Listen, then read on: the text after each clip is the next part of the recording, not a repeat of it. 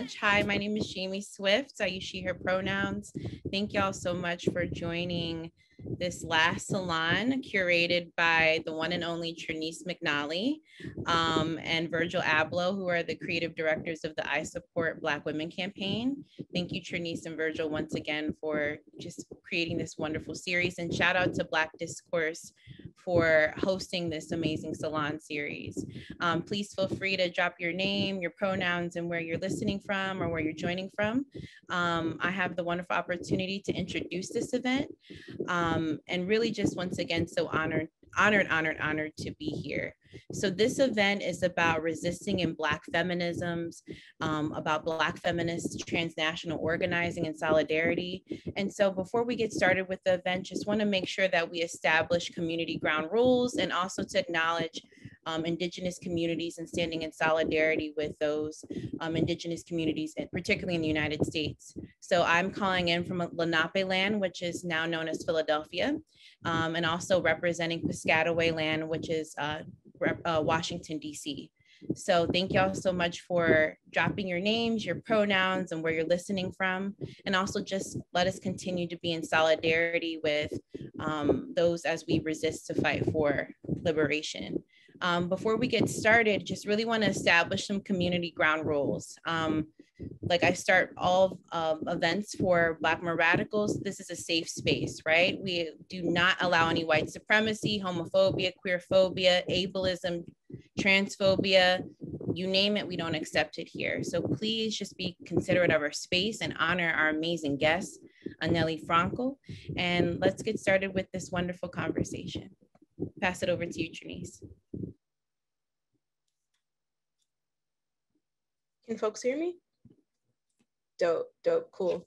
Hey y'all, so my name is Trinice McNally. I'm a Black queer feminist migrant. I use she, her pronouns, and I'm from London, England, by way of St. Mary's, Jamaica. And I'm the founder of the I Support Black Women campaign with Virgil Abloh and Off White. I think today I'm experiencing a bunch of mixed emotions like excitement and pride and sadness, and really a lot of honor about today's conversation with my dear friend Jamie Swift, of Black women radicals and my dear soror and comrade Anielle Franco. Um, I kind of want to take us back for a minute to kind of get us grounded in how this campaign started. Um, you know, so when I first met Virgil Abloh last summer, after co-leading the Defend Black Women March on Juneteenth of last year here in DC, I had no idea that I would be able to execute a campaign, create a salon series, work with so many dope folks like folks in Black discourse, designers, uh, meet Black feminists from across the globe, talk with uh, POC designers, create a photo campaign that featured Black women organizers, and raise money to start a school for Black feminist politics. Even sitting front row at an off white fashion show during Fashion Week. And that still like wows me out, y'all. Like, oh, Jamie and I had the opportunity to go there, right? Like growing growing up with my experience, I never thought that something like that would be possible. And that's just a couple of things of what we've been able to accomplish in less than a year with this campaign.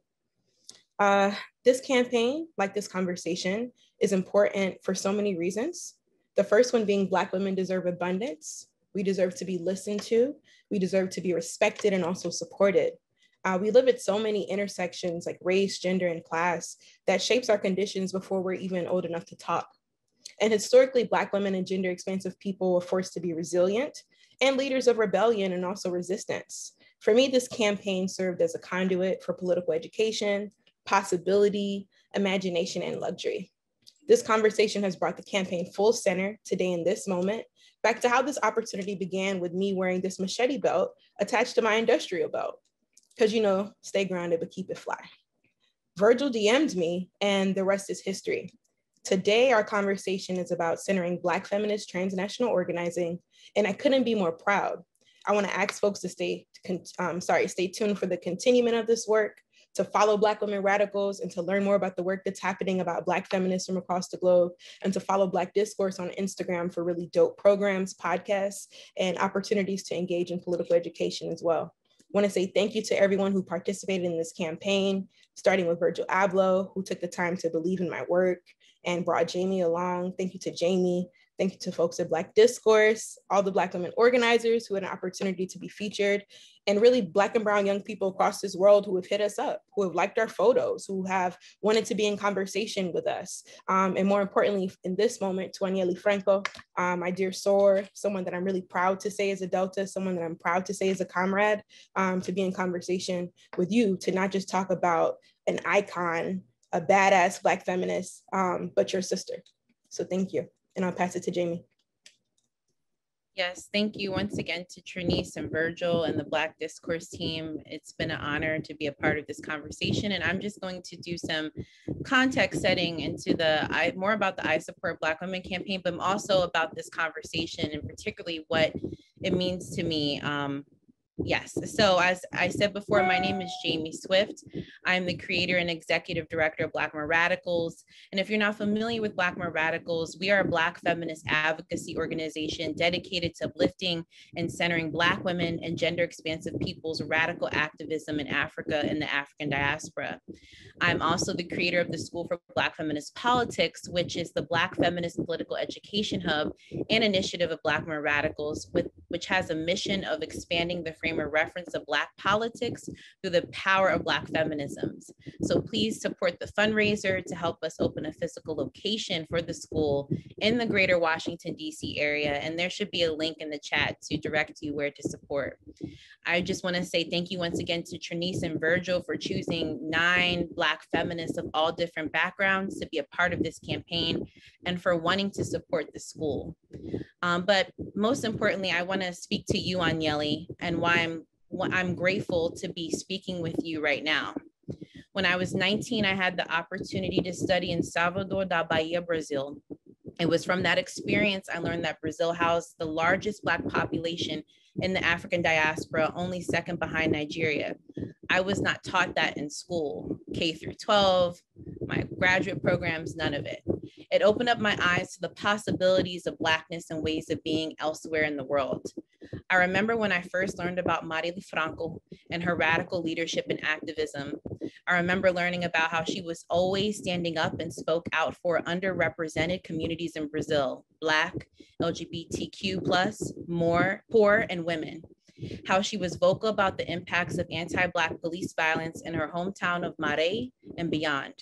Her life, leadership, and legacy inspired me so much so that I wrote my dissertation in honor of her, and specifically about Afro Brazilian queer, travestis, and transgender activists, organizers, and denizens who have lost their lives to state violence and who are organizing and working actively to combat oppressive structures that gravely impact the lives of Black communities in Brazil. Marielle inspired me to always stand in solidarity with Black feminists in Brazil and around the world. So to be able to speak to you, Anielle, uma mm-hmm. guerreira, a warrior in your own right is my honor. So this conversation is for Marielle Franco, for Anderson Pedro Gomes, for Matheusa Passareli, for Luana Barbosa dos Reis, for Rafaela Souza, for Sandra Bland, for Ashanti, Ashanti Carmon, and for Breonna Taylor, and for so many others. Solidariedade agora e para sempre, and a luta continua. Solidarity now and always, the fight continues. So thank you so much for being here.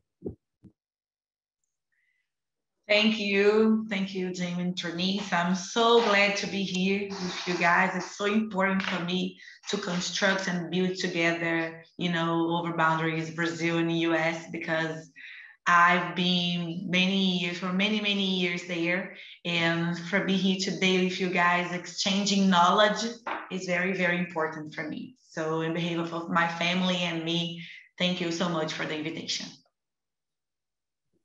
Thank you. Thank you. Thank you. So, let's get into this conversation. Um, so, we really want to talk about, like Trinice was saying, the importance of Black transnational feminism and transnational feminist organizing. So to you, Anielle, we want to talk about solidarity because solidarity seems to be like the key piece, right? Um, so what does solidarity mean to you and who are some historical and contemporary Black feminists in Brazil we should know about? Yes. Um, first, I will gonna start the last question first. Uh, before we started, you were talking about Sueli Carneiro, and Sueli Carneiro for me is one of the most important Black feminists in Brazil. But Sueli Carneiro is now launching uh, Sueli Carneiro's house, which has been built by a girl named Bianca Santana. And she is a very contemporary Black feminist in Brazil right now that you should know. I can send you guys and I can write in the chat. But Bianca Santana has been writing and researching and doing a lot. And the way we can know that she's doing a great work is that the president hates her. So every time she does something great for the Black women or for the population in Brazil, they always come and, and create some fake news. Because you know, Jamie, we are living a very difficult moment in Brazil with fake news. They are always saying something, especially about Black men, Black women and Black girls here. Um, so I would say Bianca Santana. I would say also Lucia Xavier, which is a, a lady. She's a little bit older than me, but she has been in this game for a long, long time, and she has been doing a lot with her ONG and helping many, many women, especially now over the pandemic time, you know. So Bianca, Lucia, we also have Flávia Oliveira, with the Black journalist in Brazil. And Flavia has been doing so much because, you know, here in Brazil, we don't have that many Black women on TV. So when we finally get the space to do it so, we feel so, you know, like it's someone representing us.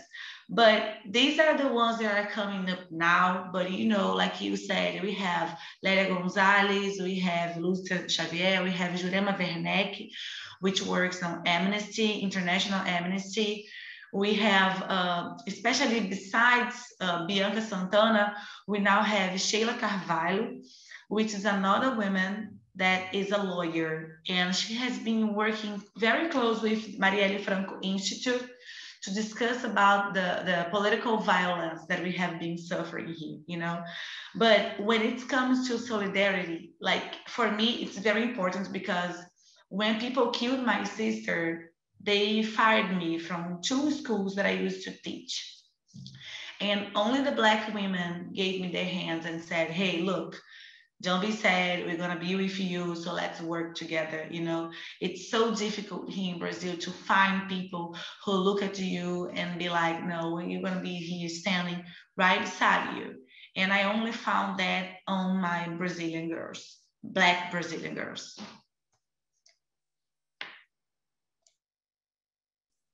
Thank you for sharing that and dropping all of these names. We're going to be dropping them in the chat, y'all. I was writing down some of the ones that Jamie already hasn't taught me about.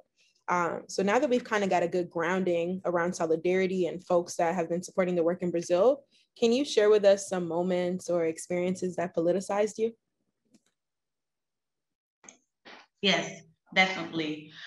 Before I go live in the US, I used to live in Maré, which is one of the biggest uh, slums in Rio de Janeiro. It's right close to the airport. So whenever you come to Rio and you drop on the airport, you're gonna see Maré on your left side. It's like one of the biggest one beside Rocinha.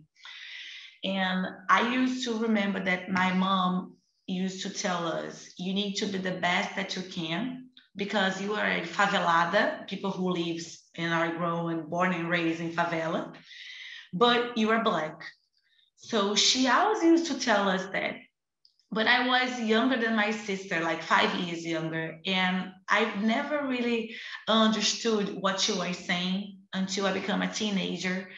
And once we were having a police operation in the favela, and everybody, they were like making sure to see the documents, right?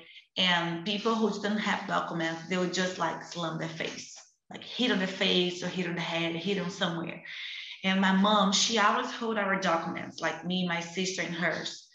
And that day, she looked at me and my sister and said, That's what I'm talking about to you because you always have to obey me. When I say you have to study, you have to be, you know, compromising with your documents, where you go here and that. And I was very young on that. And a couple months after that, I started playing volleyball, and that's why I went to live in the US. Uh, they had another operation and they killed almost 10 people on my street, on our street. And we went to protest after that. And they hit my sister and they hit my mom. And I was very young. And my daddy was with us too. And they just used to hit everybody who were protesting against that violence that we had been suffering.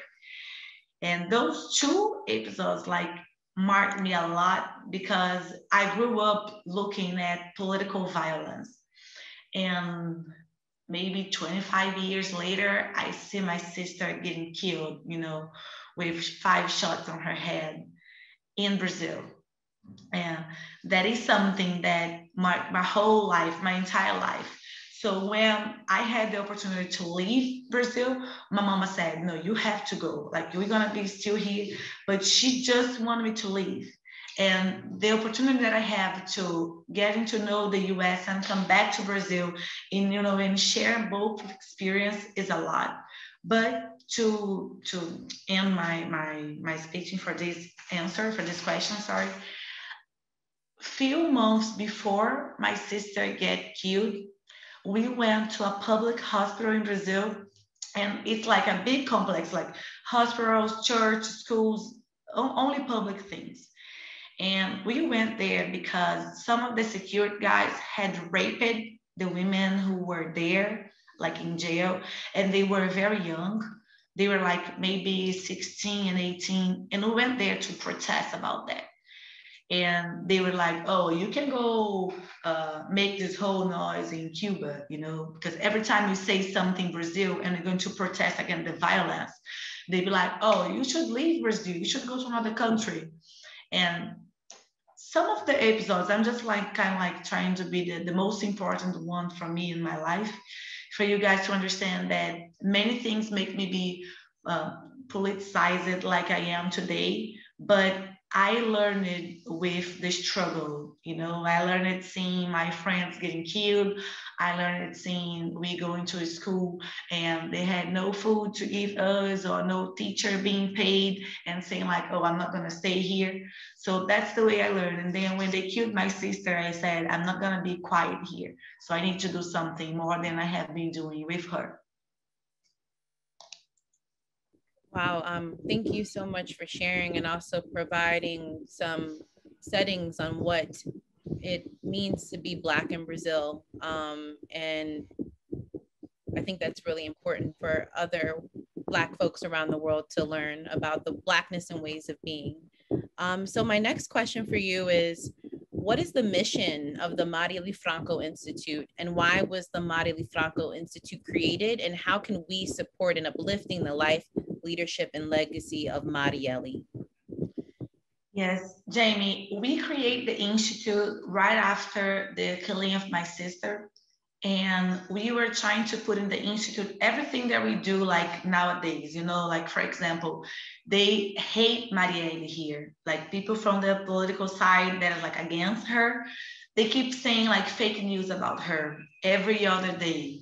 So we are trying in the institute to work that, like to defend her memory and to inspire another Black women, you know, because most of the time when we start talking about Black people in general, they look at us and be like, oh, we don't want to hear that. They think and they say that in Brazil we don't have racism, but we do have. So in the institute today, I try to defend her memory, you know, to keep the legacy alive. We try the same time to do a lot of work for people to understand that Marielle Franco was killed with five shots on her head. And spite of the place where she was and what she defend, she was killed. And we don't deserve that to anyone in Brazil, you know, even though if you think different from us. So that's the point here. That's what people don't understand and what they don't get. So our mission is to potentialize, to inspire, and to make sure that people are not going to forget Marielle. For you to give an, to have an example, I've just launched this. This is a, I don't know, like a story in quadrinhos. I don't know how to say in English. It's like a cartoon though. Yeah, a cartoon. Book. Yeah. yeah. Yeah. And we launched this today here in Brazil. It means uh, Marielle Franco Raízes, it come when she came from, you know, like her teenage time. And we're gonna be launching next week on her birthday because I believe that people who used to vote already know Marielle, but many of our teenage girls who live in the favela and you know to live in favela he is very complicated and most of these girls think that they don't have anything else to do only you know be with drug dealers and all that. So we are trying to give this on public schools and talk about Marielle power, you know, the way Marielle was raised, how she had a baby with only 18 years old and how she survived about that. So this is the type of mission that we have in the Institute. We have been working a lot nationally and internationally about political violence here our girls who were elected last year, they have been suffering many threats in Brazil. So they most of them are not living in Rio anymore because every other day someone threatened them you know? So our mission is to keep these live and alive and especially for black women to look at us and say you know i want to be in this fight and i want to be uh, with the institute and i want to work and i want to learn more about them. So we're doing a lot. We're doing political violence. We're creating books we are creating lives on Instagram with intellectual women, like so they know a little bit more about their history, like you know, Black Month history and Black women, because most of them have no idea what they can do. And just be like, oh, I'm not gonna fight against them. But once they get the knowledge to know the power, so they come together with us, you know. So we've been trying to organize a lot of things here, a lot of stuff but it's been difficult because you know uh, our president is horrible. So every time we're trying to do something to talk about marielle he always come up with some fake news with something wrong about especially with black women. But we are resisting here.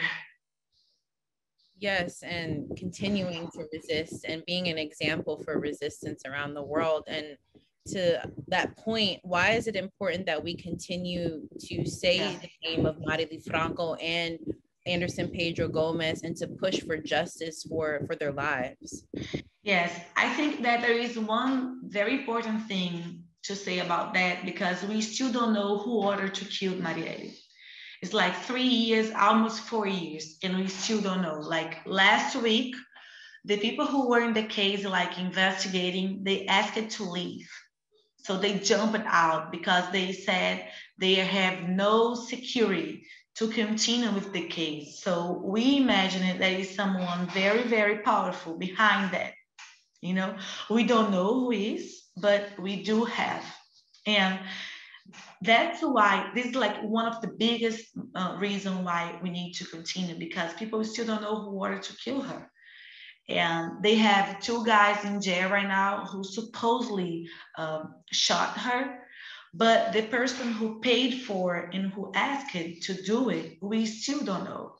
So um, we don't want to let Marielle Anderson, you know, be forgotten. So whenever you can, like we always put things in Portuguese and English on our Instagram so to support us or even just to share and, you know, talk to someone about us and maybe this person can support or whatever. But everybody, every time we talk about Marielle Franco uh, assassination, we always talk about democracy because it's unbelievable that uh, uh, a former political, you know, women get elected with 45,000 votes and people shot her and we don't know anything. And the police don't answer, government don't answer us. Like we had no justice besides what we've been doing with the institute, you know, because they don't care. Government are not care about what happened to Marielle. So that's why it's so important for us to be, you know, either um, on TV, on Instagram. So every time we do something new, like the book, we put on medias, you know, to so her uh, and so her name and other song not be forgotten. Thank you for that, Anielle. And it feels like, you know, I'm hoping that folks are getting from this conversation that anti-blackness is global, y'all. And it's important not just for this work to be continuing in Brazil, right? But for us to truly be in solidarity. You know, if you notice, the first question that Jamie asked was about solidarity. And there's absolutely no reason why we shouldn't know these names. There's no reason why we shouldn't know the folks that are doing this work uh, in Brazil and in the global south and beyond. Because if you ask them, they know who the folks are in the US, right? So, like, what is the commitment yeah. that we are going to make to ensure that we're truly in solidarity and not just using hashtags and using folks' uh, names and lives in vain, but what is the interest, right? What is the commitment? So I really appreciate you sharing that and really providing the context. Because if folks are listening who live in the US, who may not know anything that we're talking about, I know they can relate to everything you just said, right? Because Black struggle across the globe is not the same, but it is always similar, right? Because of the ways that fascism and white supremacy work. So I just hope that folks are getting the gems, getting the insight, getting the context, and they're able to utilize it to our lens here in the US. Um, and this is my next question for you. I know that Black Brazilians have always found a way to create spaces that celebrate and honor Black identity and resistance. Can you share what advocacy, community, and political work as a two-time HBCU graduate have shaped your commitments and your current role and really prepared you for who you are now?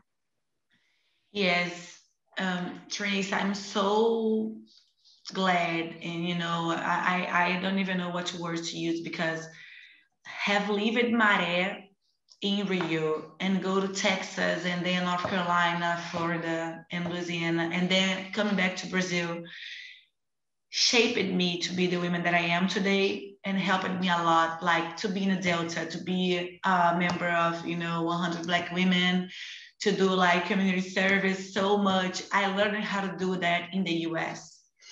And when I came back to my country, I used to think like the difference of seeing the organization that you had in the US and how actually Black people used to get together.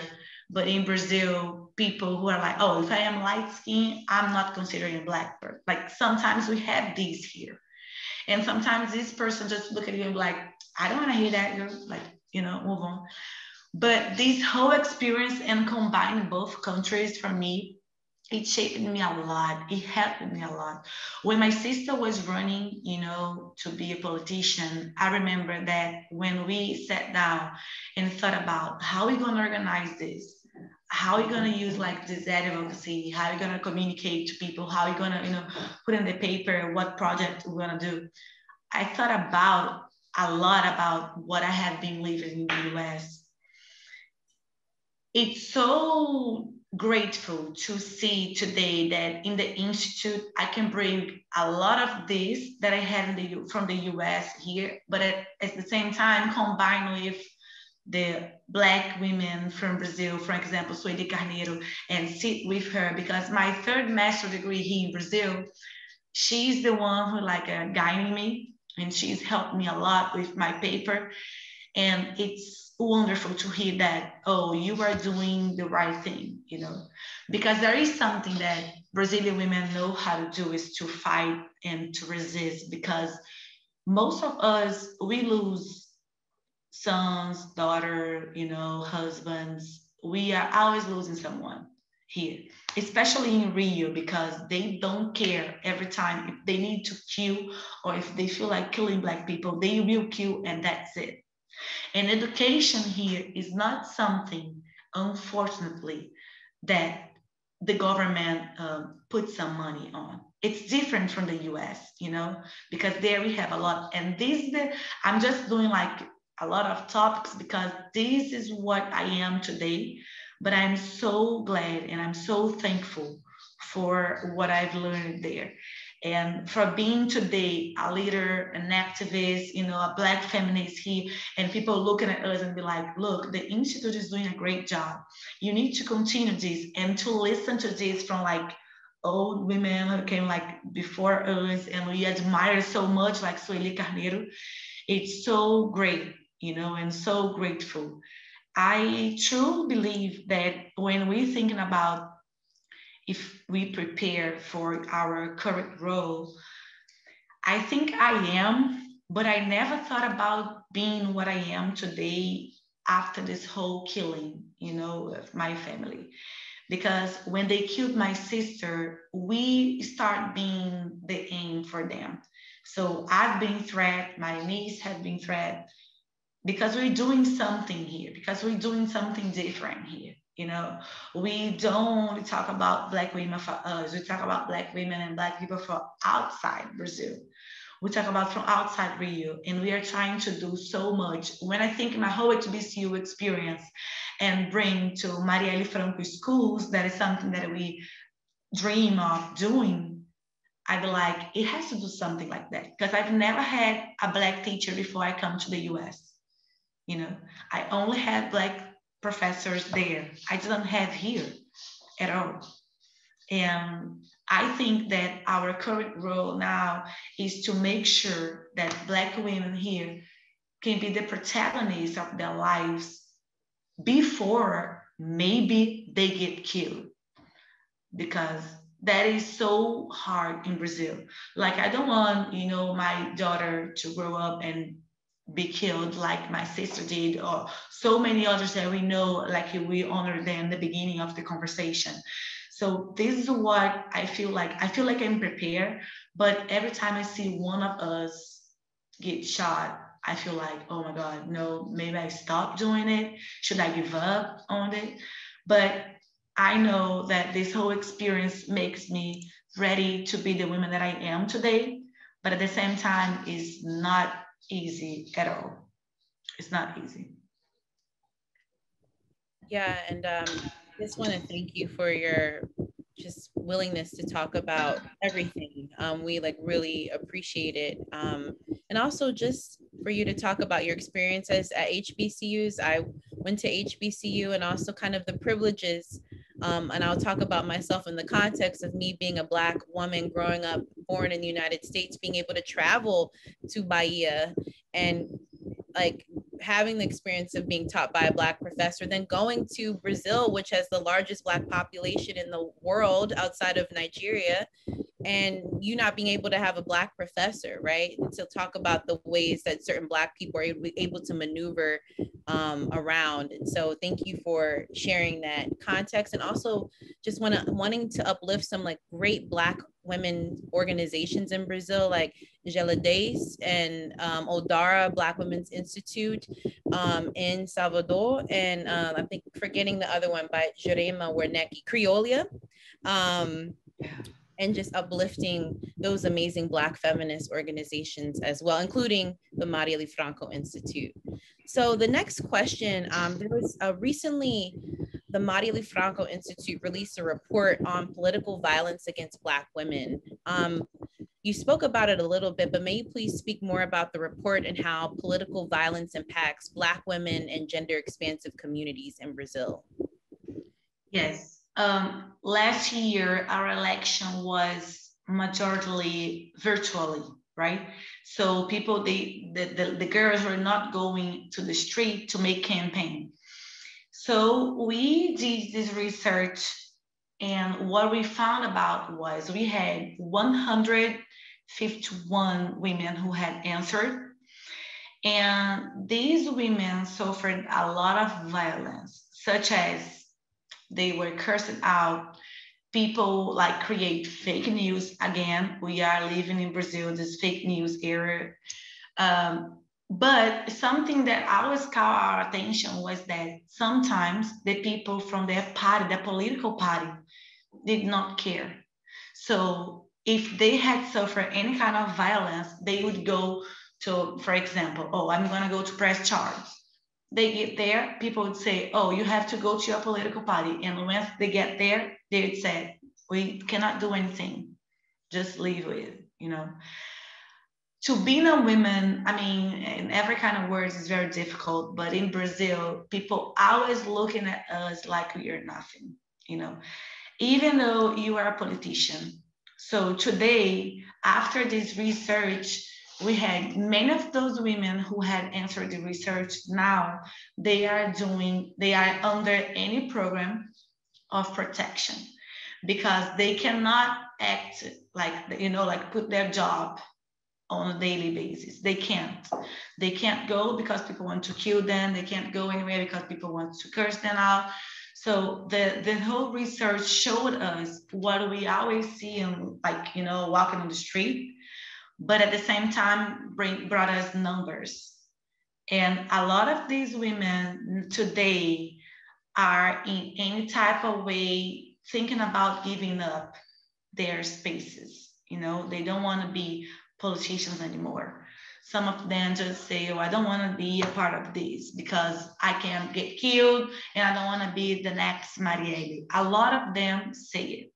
And you know, we have no no laws here to protect them that give them uh, like private security, for example. We don't. So most of the time we try to do um, big events to talk about that and let people know what's going on in Brazil because some most of the time they don't let us know, you know. So it's very, very difficult when we come to, to, to this research, you look and you feel like crying because it was so many things and so many stuff that happened that we have no idea where we go from here, you know, Damon Trinice, because out of 152 women, like 148 suffered any type of violence. It's like, it's a lot. And then like 251, uh, every time they do a campaign, like 249 were cussed out because they were black um, or because their religious way were like different from the other, or because they used to, you know, say something about Marielle, especially if they talk about Marielle, sometimes they could not even enter spaces to talk about or to do their campaign.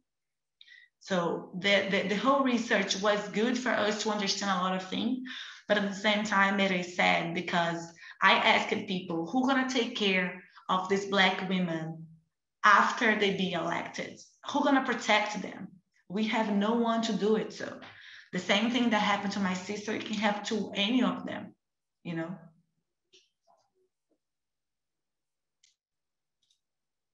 Thank you for that. I'm really excited that Jamie asked that question about reports because I have like a couple of students that are on the line who wanted to learn about the reports and the research that's happening in Brazil.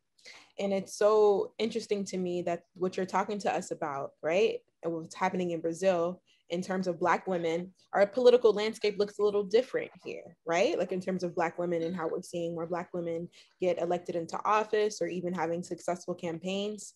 And I, I just want to keep reiterating um, to the people on this call, the people that are going to watch this on YouTube who missed it, that is really important to understand what is happening to Black people, in particular Black women, especially in Brazil, right? Because I think Brazil, there's so many lessons historically that we need to learn and to understand. I mean, Brazil was the last to abolish slavery, y'all, has the most Black people outside of Nigeria, like Jamie told you. And I think that we often forget and we get caught up here in the US, right, in a Western imperialist place, that the US, right, is the only folks that are impacted by state sanctioned violence and police violence um, from Black women in particular.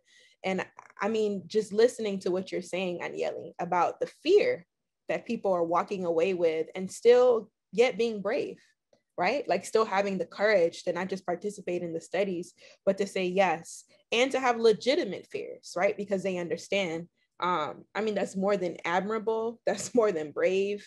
Um i can't even articulate like what that what that could mean for us here in the us and how we need to learn and how we need to be.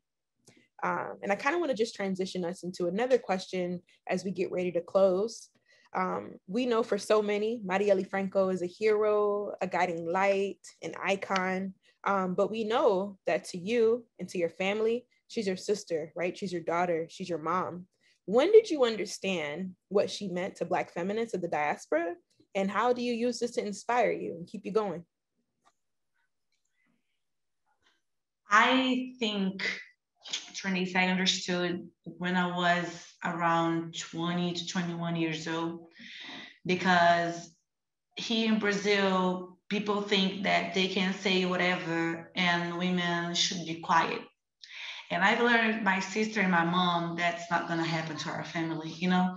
So every time, since I always play volleyball, I'm a little tall. So people used to be like saying whatever and they expect us to be quiet. But as time were passing and my sister was working as a politician and every time i come from the us to rio i spend a lot of time with her i saw my sister become a giant you know even before she be elected. And we've been through so much like we had uh, bad relationships. We had daughters you know with that type of man that we should not have done before. And we had so many experiences, but at the same time, we've been through so much that we look at our parents and be like, okay, one day we struggle, but the next day we need to be up, you know? And when they killed her, it was like that moment that I look at my mom, my niece, my daughters, and said, what Marielle would do if she was here. Like if I had been killed, what my sister would do. I've never given interview before. And I was the girl who was like behind scenes, like writing with her. And all of a sudden, I was the person who people were like, oh, and now we need you here, we need you to speak, we need you to write. And I became that person that I admired looking at my sister and my mom. And I had no choice, you know. I know sometimes I, I, I feel like I don't know where I'm going. I don't know what I should go. Should I do here? Like, should I trust this person? But sometimes we don't even have time for that because Brazil is so difficult to live and at the same time to keep moving that if you stop and think, you know, something gonna happen and you're gonna be left behind. So we had no option. Like I had to learn through my throughout my struggles, but at the same time, I get inspired a lot from my family, from the women from my family, from looking at my niece, who were the only daughter that my sister had. And I saw my sister working like three shifts, like morning, afternoon, and night to, you know, to put food on her table. And to look at her now, I have no option besides keep going and keep moving you know i cannot give up because of them because of everything that's going on so if I know that Marielle has become this whole giant, you know, and she means a lot to Black feminists. But I only understood that, unfortunately, after they had killed my sister. Because when I saw people from across the globe speaking about her, when I saw people like selling t shirts, you know, cups, anything from her, that's the type of thing that inspired me. But my inspiration comes from seeing how hard she working, my mom working, and my whole family, and many Black women who are today like side by side with me, has been working to survive this whole crazy country, pretty much. Most definitely. Um, and for like as we move on through the conversation, I just also want people to realize that Brazil is also a center of radical Black resistance, particularly Black women leading resistant or resistant movements, right? Like thinking about the quilombos and thinking about thinking about Dandara dos Palmares and Maria Felipa de Oliveira and yourself, Anielle, like Marielle Franco and so many other amazing Black Brazilian women who've been at the forefront of movements, right? Um, and like as Trini said earlier, oftentimes we don't know about them, but when I was studying in Brazil, like everyone knew about like Black American feminists, or even, for example, Caribbean American feminists like Audre Lorde. I have an Audre Lorde book in Portuguese, yes. Brazilian Portuguese, or Bell Hooks, or I mean, Alice Walker. Like these books are in Portuguese, but how often are um, you know, Beatriz Nascimento's books translated into English. Now there's one, uh, there's there's works of hers translated into English, but it's it's very few, right? And so Marielle was dedicated to those who are most marginalized in society, Black, LGBTQ, women, and more. She also utilized a saying during her campaign, Eu sou porque nós somos, I am because we are. So what can we learn from Marielle's solidarity as a Black feminist tool and strategy? Yes, I think we have a lot to learn, especially because uh, Marielle started to be a Black feminist when she was very young. She got pregnant with 18 years old, 17 to 18. And I remember how, even though she was pregnant, she was still going to protest. She was still going, you know, outside the street every time one of us got killed. She worked a lot and she built herself to be one of the greatest politicians, one of the great, greatest politician that I've ever seen, that I've ever seen in my whole life. Until this day, Jamie, I, I tell you, when I look at the women that came after Marielle, with our respect, I don't see people with that powerful, you know, like the way that she speak, the way that she used to put herself. So I would say that we had a lot to learn, but at the same time, she had learned that from someone. And I would say that was from my mom. And who today, I don't know how my mom survives up to this day because she's still crying every other day for my sister. But at the same time she has so much power and strength and you know like uh, uh, and dreaming of seeing this country better. So i cannot speak about one without speaking about the other you know it's kind of like that. And when marielle got elected i saw many black women from the favelas for example single moms for example, uh, LGBTQI plus women, Black women, like trans women coming to her and saying, look, you represent me. So you go there and do the best. And I kept thinking if that was one of the reasons why these people killed her. Because every other day, Black women would go to the place that she used to work and be like, hey, we here. We just want to say thank you you know, they don't like that. They don't like the way we act, the way we speak, the way we walk, the way we dress ourselves. They used to make fun of Marielle's clothes. They used to talk about her hair, you know. And even though they used to do that with her, she used to go every day into that place, you know, with uh, red lipsticks and to put her hair up and used to be like, oh, they're gonna learn to deal with me because I'm not living anywhere. So I think there are a lot to learn from her, but I would say that one thing that I, that I would highlight was like her strength. The way that she used to say, I'm not gonna put my hair down.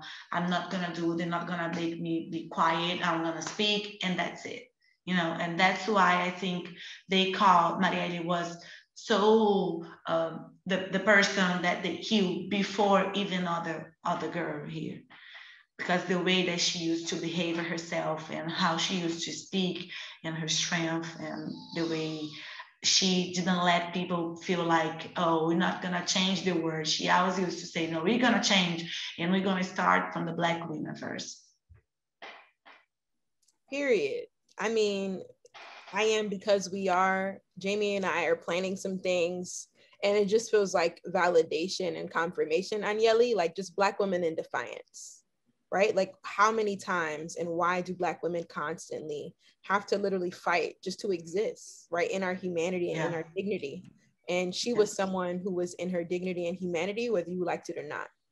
And I mean, I don't know any person who could not understand how inspirational she was and continues to be um, for all of us across the globe. And I'm, I'm really grateful that you're talking to us about her because this is not just a literary figure, right? Or icon. This is your sister, a person that you live with, um, care about, and love. And I just want to always hold space for that um, because how, we're, it's an honor for us to be in conversation with you. And to close, um, I think you've dropped so many gems, you know, and I kind of want to hear your call to action um, like what advice would you give black women across the diaspora that are fighting? Um, what are the things you want us to remember and to stay grounded in as we continue this work and we continue this fight? Well i think that i would say that we only can change things if you are united you know like i don't believe that i can do it by myself. I feel stronger when i am with you that's the why I always say here in Brazil also, because people will be like, oh, I can do it. No, we have to do it together. And I've been learning these the hard way because when they killed my sister and I had no jobs and I had nowhere to go and I just don't know what to do because mm, a lot of people used to love her, but other people used to hate her. I felt like what I'm gonna do and black women came together and stand up their hands for me. So today, I would say that the more united we can be and more closely, even though we are, you know, in Brazil and the US, the more powerful we are and the more powerful we can be. I don't know if I'm doing the, like, you know, everything completely right, but I'm pretty sure that my sister is very proud for what we're doing here. And when I remember that most of the times we didn't have food on the table, we didn't have money to go to work, and sometimes used to go walking and to look and see how far we got today. It's kind of like that poem, like Invictus, that I had to learn when I was becoming a Delta. And I keep thinking about that. And if I would say is we not gonna regret, you know, we're gonna go from here up we're not gonna be quiet. We're not gonna, you know, uh, accept the way they be treating us. And we are going to be the protagonists of our own lives, even they want or not. That's that's what I think that's gonna happen. And that's what I would say for everyone who's like listen to us today, because there is no way and there is no option to give up and stop fighting because we need a better place and a better world for our black people. Wow. Um, just thank you so much. Like grateful for this conversation. So thank you.